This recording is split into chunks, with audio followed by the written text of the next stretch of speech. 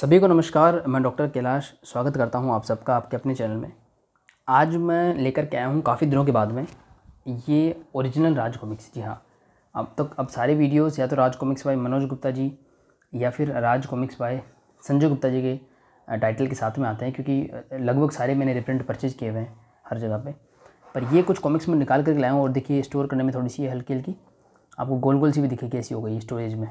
पड़ी हुई थी मैंने इसको निकाला आज। तो ये मैं क्यों निकाल के लाया हूँ, वही बताऊँगा। तो ये राज कॉमिक्स के द्वारा प्रकाशित हैं। राज कॉमिक्स मतलब ओरिजिनल वाली राज कॉमिक्स ना कि राज कॉमिक्स बाय संजय गुप्ता या फिर राज कॉमिक्स बाय मनोज गुप्ता। और ओरिजिनल से डिटेल्स के साथ में है मतलब ये ओरिजिनल कॉमिक्स हैं, ना कि रिप्रिंट ये ओरिजिनल कॉमिक्स है। इसमें से डिटेल्स यहाँ हैं, ये भी ओरिजिनल कॉमिक्स है। खैर, ये तीन, चार, पाँच ओरिजिनल कॉमिक्स हैं।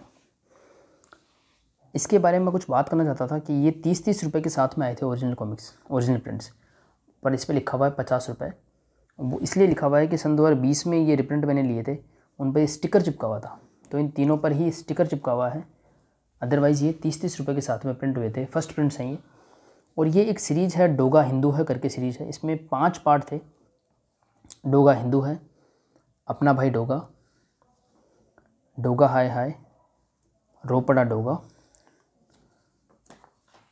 और इसमें शायद मिल जाए डोगा का कर्फ्यू और मेरे पास में चार कॉमिक्स थी, डोगा कर्फ्यू भी था, पर पहले कॉमिक्स मुझे नहीं मिली थी, डोगा हिंदू है, वो कॉमिक्स नहीं मिली थी। तो ये सीरीज़ है, इसमें नाम से ही आपको पता लग रहा होगा, पाँच एक्चुअली पाँच कॉमिक्स का सीरीज़ है, और हर पार्ट में फोर्टी एट पेजेस हैं। तीस रुपये के साथ में इनके फ़र्स्ट प्रिंट आए थे, ये तीनों फ़र्स्ट प्रिंट ही हैं by the way but Raj comics ने ही इन पर पचास रुपये का स्टिकर लगा रखा है, इसको निकालेंगे तो तीस रुपये लिखा मिलेगा, और पीछे एक ऐसा बार कोड भी चिपका रखा है। तीनों पर ही मतलब ऑफिशियली उन्होंने ये स्टिकर लगाए हैं। तो पचास पचास रुपये के साथ में ये मुझे मिले थे बीस, दो हज़ार बीस में और प्लस में भी डिस्काउंट मिला भी हो, ना भी मिला हो, याद नहीं आ रहा। इसके बाद में सन दो इक्कीस का हाल तो सबको पता ही है कि इसी पेज की नंबरिंग के साथ में वन हंड्रेड रुपीज़ के रिप्रिंट हमको देखने को मिले हैं। चाहे हम भेड़े के कॉमिक्स की बात करें या फिर नागराज के कॉमिक्स की बात करें, आतंककर्ता सीरीज़ की। और यही सीरीज़ अभी लेटेस्ट रिप्रिंट हुई है। शायद वो सेलर्स के पास में आ भी चुकी होगी। उसका प्राइस मुझे याद नहीं आ रहा। वन हंड्रेड तो नहीं है। अब एक सौ पंद्रह, एक सौ ग्यारह, एक सौ दस कुछ होगा, शायद एक सौ पंद्रह मान लेते हैं, मुझे याद नहीं रहा अच्छे से वन हंड्रेड टेन होगा, कुछ प्राइस होगा इसका। तो हंड्रेड से ऊपर है इसका प्राइस साथ में हो सकता है स्टिकर वगैरह, कोई नॉवल्टी फ्री मिली हो। ये सीरीज़ मुझे फिर से याद इसलिए आई क्योंकि अब जब इसके रिप्रिंट्स अवेलेबल हो चुके हैं तो हर कोई चाहेगा कि ये सीरीज़ पूरी करी जाए। मेरे पास में पहला पार्ट जो कि डोगा हिंदू है और पाँचों पार्ट जो है डोगा का कर्फ्यू वो नहीं था तो मैं उसको परचेज करने की कोशिश करूँगा। लेकिन अब ऐसा हुआ कि जैसे ही ये सेट आया सेलर्स बता रहे हैं ऐसा या फिर जो भी रीज़न रहा होगा कि पब्लिशर ने उनको सेट ही दिए हैं मतलब इंडिविजुअली वो सेल नहीं कर सकते। होता क्या है कि मान लो ये पाँच कॉमिक्स का एक सेट है जैसे कि सेट मैं कैसे समझाऊँ आपको? ये देखिए यहाँ पर ये कुछ मनोज कॉमिक्स का मैंने अभी रिव्यू किया रहा था तो ये कॉमिक्स पढ़ी हैं। ये ट्वेंटी फोर कॉमिक्स हैं और ये रिप्रिंट्स हैं। चार चार कॉमिक्स के आ, सेट में आई थी और लास्ट वाला सेट जो है आठ कॉमिक्स आता तो उसको सेट बोलते हैं। कई बार वो रिलेटेड होता है, कई बार रिलेटेड नहीं भी होता, पर उसको एक सेट बोला जाता है। पब्लिकेशन इसी तरीके से होता है। आपने नागराज और सुपर कमांडो ध्रुव के रिप्रिंट देखे होंगे, राज कॉमिक्स बाय संजय गुप्ता जी की तरफ़ से और मनोज गुप्ता की तरफ़ से। तो कई बार वो सीरीज़ में प्रिंट होते हैं, कई बार नहीं भी होते हैं, कई बार टोटली अनरिलेटेड होता है, लेकिन फिर भी उनको सेट बोला जाता है। और सेट में क्या होता है कि पूरा पब्लिशर से जो सेलर्स हैं, पूरा सेट परचेज करते हैं और फिर एक एक करके उनको बेचना शुरू करते हैं। कई बार वो उन सेट्स को ओपन कर लेते हैं और इंडिविजुअल भी सेल करते हैं, जैसे कि हेलो माइन अदर वेबसाइट्स पर होता है।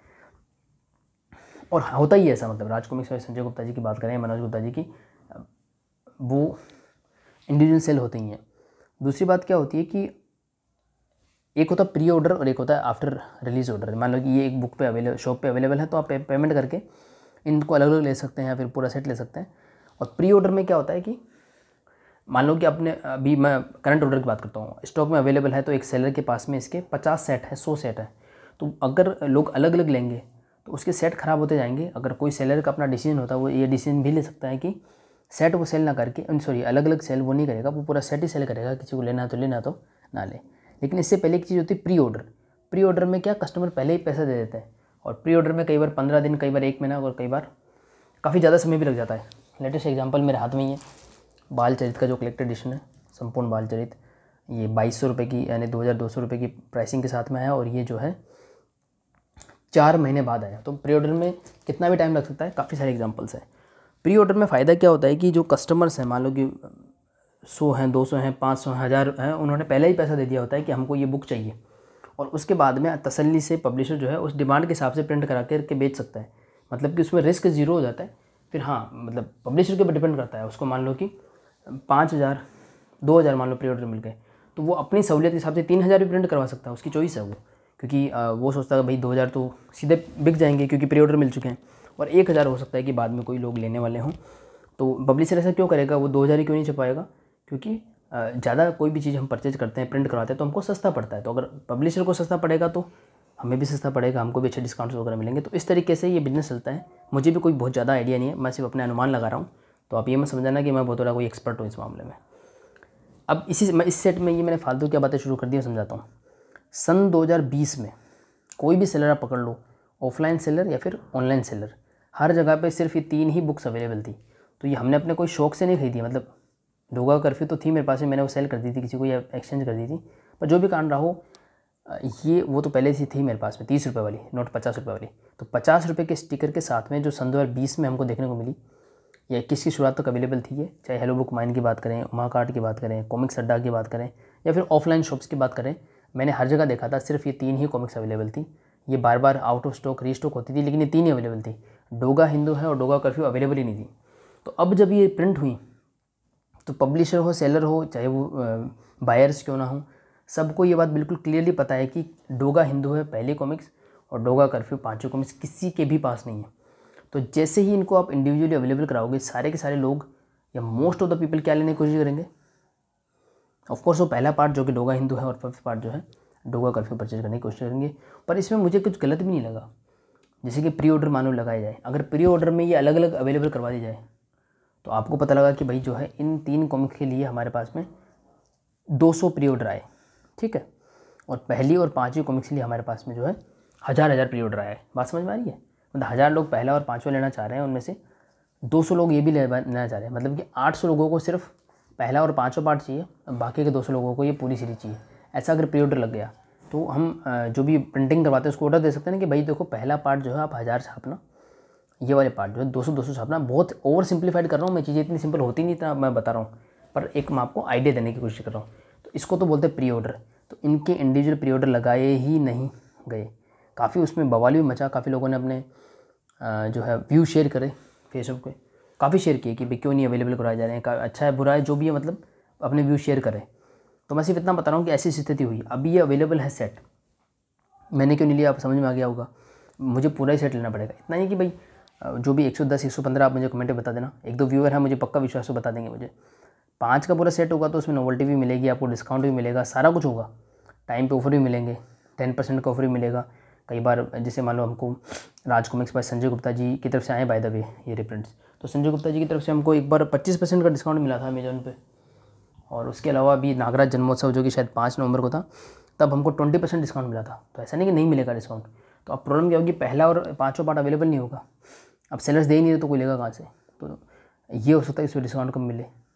कोई पूरा प्राइस में दे रहा है पूरे प्राइस में मुझे लगता मिल रहा है। तो उसको अगर मैं कॉस्टली लूँ मान लो कि सौ, एक सौ, दस रुपये का उसको काफ़ी कॉस्टली मैं लूँ इससे बड़े तो क्या है कि मैं लूँ ही ना, क्योंकि बाद में पूरा सेट अच्छे ऑफ़र मिल जाएगा और उसके साथ नोवल्टीज़ भी मिल जाएँगी। तो ये सेट मैंने ऐसे छोड़ दिया क्या करूँ उसमें रही बात एक और, ये मैंने क्या रख रखा है? स्पीड एक्स तो इसमें भी चार कॉमिक्स शामिल थी स्पीड एक्स में। अब मुझे याद भी नहीं आ रहा, उनके नाम वगैरह पूरे। एक्सप्रेस वे स्पीड एक्स थाम्बा ये तो मुझे याद आ रहा है। चार कॉमिक्स थी, पर वो पूरे नाम याद नहीं आ रहे, क्योंकि मैंने फॉलो नहीं करा एक्चुअली मैं आपको बताऊँगा। स्पीड ब्रेकर देखिए। Expressway speed X, speed breaker और थाम्बा अब इनमें से मैंने अभी ढूंढी भी नहीं, इतना टाइम नहीं था। तो मेरे हाथ में सिर्फ़ एक आई। तो मुझे भी खुद को नहीं पता कि मेरे पास में कितने कॉमिक्स मिसिंग है। सारी हैं, एक मिसिंग है या फिर ये एक ही है, बाकी सारी मिसिंग है, कुछ नहीं पता। तो ये भी ऐसे ही है। तो मतलब सेम मैं रिपीट नहीं करूँगा अपनी स्टोरी को। सेम वही इसके साथ हुआ।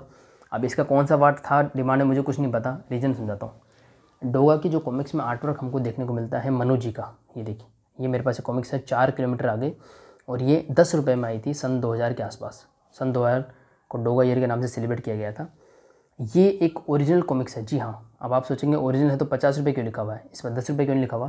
क्योंकि मैंने इसको भी एनालाइज़ किया था आपने बहुत पुराना वीडियो हो गया, शायद आप लोग फॉलो नहीं कर पाएँगे ये ओरिजिनल कॉमिक्स है। राज कॉमिक्स जो पहले एक था, तब इनमें मैंने कुछ वीडियो भी देखे हैं। संजय गुप्ता जी ने खुद ने बताया कि वो ऑफलाइन जो सेलर्स है, उनको जो कॉमिक्स देते थे, वो उधारी में चलता था। मतलब आप उनको कॉमिक्स भिजवा दो, फिर वो उनको सेल करते हैं। और बचा हुआ स्टॉक वो रिटर्न करने का उनका कोई हता है कि वो कर सकते हैं। तो बचे हुए जो स्टॉक होते हैं, कई बार धूप में बाहर, क्योंकि ठेले में लगते हैं, बाहर धूप में ख़राब हो सकते हैं मॉइस्चर से ख़राब होता है, किसी भी रीजन से ख़राब हो जाती है तो कॉमिक्स रिटर्न आ जाती थी।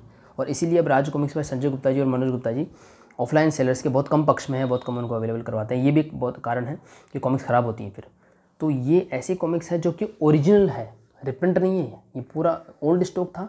वो किसी भी कारण से ख़राब हो गया होगा तो उसका कवर चेंज किया गया है। तो कवर चेंज्ड है कॉमिक्स ओरिजिनल है तो शायद साइज़ में भी कोई फ़र्क पड़ा हो, थोड़ी छोटी हो, देखिए। आप अगर हवलदार बहादुर मैंने कॉमिक्स लिए, लेकिन ये राज कॉमिक्स का साइज़ होता है। थोड़ा थोड़ा मार्जिन आपको छोटा दिखेगा, आप अगर देखोगे तो देखो, मैंने इसे सेट कर दिया है। इधर से थोड़ा सा कम, इधर से थोड़ा कम दिख रहा है आपको? तो होता क्या है कि मतलब जैसे कोई कॉमिक्स पुरानी होती है तो उसका बाहर का पार्ट होता है ना पीला पीला से हो जाता है कोने मुड़ जाते हैं। तो उस पर नया कवर लगा के चारों तीन तरफ़ से कट कर दो तो वो नहीं लगती है। तो आप जब भी देखना, अगर आपके पास में पुराना स्टॉक अगर हो, सन दो हज़ार बीस में, इक्कीस में, उन्नीस में परचेज किया हुआ, आपके जो भी ऐसी पुरानी कॉमिक्स हो, आप देखना, उनका साइज़ आपको पहले से थोड़ा छोटा मिलेगा। सुपर कमांडो ध्रुव की विशेष रूप से मैं बताऊँगा। अगर आपके बत्तीस पेज वाली कॉमिक्स होगी, कुछ अवेलेबल थी ब्लैक केट वगैरह तो आप देखना। तो वो आपको थोड़ी थोड़ी छोटी मिलेगी। उसका रीज़न ये होता है कि वो ओरिजिनल ही होता है। या ओरिजिनल नहीं भी होता तो काफ़ी ओल्ड होता है मतलब सुपर कमांडो ध्रुव में ओरिजिनल मेरा मुश्किल है। तो ये तो कम्प्लीटली ओरिजिनल मुझे पक्का पता है, क्योंकि उसमें काल धोनी का एड भी आया था और वो हाथ में लेके पता रह जाता है। तो एक अच्छा भी हुआ क्योंकि मुझे ओरिजिनल पसंद था। ओरिजिनल में कलर वगैरह बहुत अच्छे आते थे और ओरिजिनल की अपनी एक वैल्यू होती है। तो इसी बहाने अपन को ओरिजिनल किताब तो मिली। बस ये कि ऊपर कवर रिप्लेस है इसका पूरी तरीके से। तो ये एक ऐसा रिप्रिंट है जो हाइब्रिड है मतलब कवर इसका रिप्रिंट है कॉमिक्स अंदर पूरी ओरिजिनल है। तो ये आर्ट हमको देखने को मिलता था। मैं कहाँ के बाद कहाँ ले गया? ये देखिए, मनो का जबर, मनो जी का ज़बरदस्त आर्ट सिंगल स्टोरी है और बहुत ही शानदार आर्ट इसमें डोगा को देखने को मिलता है। ये डोगा हमने पढ़ा था उस समय। मैंने जब पढ़ना शुरू करा था तो उसमें तो सब दिग्गज बनाते थे। डोगा को मनु जी बनाते थे धीरज वर्मा जी भेड़िया को बनाते थे। अनुपम सिन्हा जी नागा ध्रुव बना रहे थे उस समय। तो बहुत अच्छे समय पे मैंने पढ़ा, जो राज को से कनेक्ट हुआ। ये डोगा पढ़ने की आती थी। अब इसके सामने ये आर्ट वर्क थोड़ा सा ना कमज़ोर लगता है। हालाँकि आर्टिस्ट मेहनत पूरी करते हैं, लेकिन ये देखिए, आप इस डोगा को देखिए। ये काफ़ी नया डोगा है सन दो के बाद का। ये आठ का कॉमिक्स होगा, मुझे अच्छे से याद नहीं है। इसमें कहीं ऐड में अगर कोई ऐड दिया हो सन दो के आसपास का कॉमिक्स होगा ये पक्का। कहीं लिखा होता सन दो के आसपास का कॉमिक्स होगा, ये सन 2000 का यानी कि 10 साल मतलब आज से 20 साल पहले मान लो। पर आप देखो क्वालिटी मे भी अगर आप अब भी अगर नए हैं, पाठक नहीं भी हैं तो आई आई होप कि आपको इसमें क्वालिटी समझ में आ रही होगी। अगर आपको थोड़ा समझ में आता है तो देखिए। इतना ज़बरदस्त क्वालिटी का आर्ट देखने के बाद में ये किसको पसंद आएगी? हालाँकि कौन आर्टिस्ट है, पता नहीं लग रहा है इसमें। वो दिलदीप सिंह जी का। सॉरी यार, लेकिन दिलदीप सिंह जी बहुत अच्छा डोगा बना रहे हैं आजकल। संजय गुप्ता जी के कॉमिक्स में जो नया डोगा बना रहे हैं, वो दिलदीप सिंह जी बना रहे हैं। पर इसमें देखिए, उस समय उन्होंने शुरुआत करी होगी और प्लस क्या इंकिंग का भी बहुत फ़र्क पड़ता है। पर इसमें मुझे तो कुछ खास पसंद नहीं आया। इतना कुछ खास मुझे क्वालिटी लगी नहीं। वो फीलिंग ही नहीं आती मनोज जी की बिना डोगा की। अब तो दिलदीप सिंह जी काफ़ी काबिल तारीफ़ काम करें आदिल खान जी का काम भी मुझे अच्छा लगा डोगा पे। तो ये कारण रहा तो ये जो फिर बताऊँगा सारी बातें मैसअप हो रही हैं। तो ये डोगा की हमको आदत थी। अब आप इस पर देखिए, ये भी जो है मनोज जी का डोगा नहीं है, मैं बता देता हूँ। सेकेंड पार्ट ये रहा हमारे हाथ में, अपना भाई डोगा।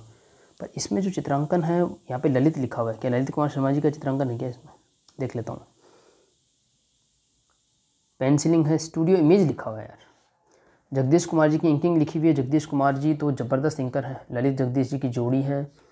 जगदीश कुमार जी, अनुपम सिन्हा जी काम भी इंकर हैं। लेकिन इसमें देखिए, आपको सूरज की शक्ल वगैरह देखोगे ना मतलब कि मनोज वाला डोगा नॉट पॉसिबल लेकिन तो भी ये डोगा जस्टिफाइड है मतलब। डोगा हिंदू है सीरीज़ के जो ये forty eight forty eight page के जो दो दो, दो तीन पार्ट है उनका डोगा फिर भी अच्छा बनाया हुआ है। इन्होंने पेंसिलिंग में स्टूडियो इमेज लिख दिया। एक्चुअली जगदीश कुमार जी जो है ना इनका भी नाम पहले देखने को नहीं मिलता था अनुपम सिन्हा जी के। उसमें भी कुछ और नाम आता था भूल गया। Ishwar arts sorry Ishwar arts लिखा होता था। तो अनुपम सिन्हा जी के काम में जो ईश्वर आर्ट लिखा आता था इंकिंग का वो जगदीश कुमार जी इंकिंग किया करते थे? अब स्टूडियो इमेज लिखा हुआ है। स्टूडियो इमेज का क्या मतलब हुआ? कौन कर रहे हैं स्टूडियो इमेज में? चित्रांकन। ये भी किसी को पता हो तो बता देना भाई। तो जो भी है मतलब मेरे कहने का मतलब हुआ, ललित कुमार शर्मा जी हैं या जो भी हैं, इस सीरीज़ में चित्रांकन थोड़ा बहुत जस्टिफाइड है अच्छा चित्रांकन है। मुझे तो पसंद आया और इसमें ऐड वगैरह भी शानदार है। तो ये सीरीज़ मतलब स्पीड एक्स जो सीरीज़ है, उससे ये सीरीज़ मुझे बेटर लगी। आर्ट के मामले में स्टोरी भी काफ़ी अच्छी है। ये उस पर है। ब्लड डोनेशन पे है ये सीरीज़। नहीं नहीं यार एक्चुअली वो मैसअप हो गया। ब्लड डोनेशन में ये नहीं, दूसरी थी वो शायद। भूखा डोगा वगैरह दूसरी थी। ये कौन सी वाली कॉमिक्स है यार? फिर याद नहीं आ रहा एक्चुअली डोगा हिंदू है टाइप का कुछ है इसमें याद नहीं आ रहा। मैं इसके दो, काफ़ी सारी स्टोरीज मैसेप हो रही है मेरे दिमाग में इस वक्त। तो मैं अभी इसको जो स्टोरी की बात नहीं करूँ तो ठीक रहेगा। फिर गलत इन्फॉर्मेशन देने से अच्छा ना दिया इन्फॉर्मेशन तो तीन सीरीज़ पार्ट की सीरीज़ थी। पाँच सॉरी तीन पार्ट मेरे पास में है। डोगा हिंदू है, अपना भाई डोगा। डोगा, हाय हाय, रोपड़ा डोगा डोगा कर्फ्यू तो ये अभी पूरी मुश्किल हो पाएगी। अगर कभी इंडिविजुअल अवेलेबल हुए तो मैं सीरीज़ को पूरा करूँगा अदरवाइज़ जो है, इसको ऐसे कैसे पढ़ा ना दिया जाएगा, जब भी कोई अच्छी डील में मिले। क्योंकि फिर इसके पहले और पाँचवें पार्ट को पैनिक में करके बहुत कॉस्टली लो विदाउट नोवल्टीज और शिपिंग चार्ज भी दो। इससे बढ़िया तो जब विद नोवल्टीज और अच्छी डील मिल रही है, तब एक साथ उसको ले लिया जाएगा। और यहाँ पर तो मेरे को कन्फ्यूज़न खुद को ही अभी। कि मेरे पास ये एक ही बुक है या बाकी के पार्ट कहीं पड़े हुए हैं? तो वो भी कन्फ्यूज़न तो इसमें तो कोई बहुत बड़ी टेंशन नहीं है। कभी ये सीरीज़ मिली तो मैं पूरी परचेज कर पाऊँगा। तो मैं एक्चुअली नए रिप्रिंट में इतने ज़्यादा खो गए थे कि पुराना कलेक्शन में भूल ही गया था। तो ऐसे ही मेरे हाथ में अभी मैं मनोज कॉमिक्स का एक्चुअली पूरा कलेक्शन मुझे दिखाना था अपने व्यूअर्स को। तो उसके लिए मैंने सारी किताबें ढूंढ करके इकट्ठी करी है चौबीस रिप्रिंट इसका रिव्यू आप चेकआउट कर सकते हैं प्ले लिस्ट में जा करके तो उसी समय मेरे हाथ में ही आई तो मैंने कहा इनके बारे में कुछ बात कर ली जाएगी और जो भी वो एक समस्या मुझे लगी तो ये खैर ये भी एक इशू है कि ये भी कम कॉम्बो मिल रहा है। तो लोगों का इशू ये था कि जो सेलर हैं या पब्लिशर जो भी डिसीज़न ले रहे हैं, वो उनके बिज़नेस के हिसाब से बिल्कुल ठीक है। लेकिन ये कॉम्बो मतलब प्री ऑर्डर में ये प्रॉब्लम सोल्व क्यों नहीं हो रही है? और आपको मैं बताऊँ, पहले अगर ऐसा कभी इशू आता था तो प्री ऑर्डर में आराम से आपको अलग अलग ऑर्डर करने का मौका मिलता था। पर इस बार ऐसा नहीं हुआ।